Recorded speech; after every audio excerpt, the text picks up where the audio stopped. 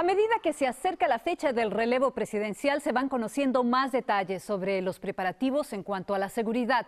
Hasta 25 mil efectivos de la Guardia Nacional.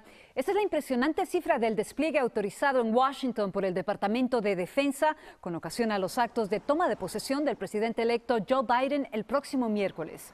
El número supera el total de efectivos militares que en la actualidad tiene desplegados Estados Unidos en Afganistán e Irak. Las excepcionales medidas de protección se extienden también a los otros estados del país. En la capital de Texas, en Austin, el Departamento de Seguridad Pública del Estado anunció el cierre temporal del Capitolio a partir de hoy mismo.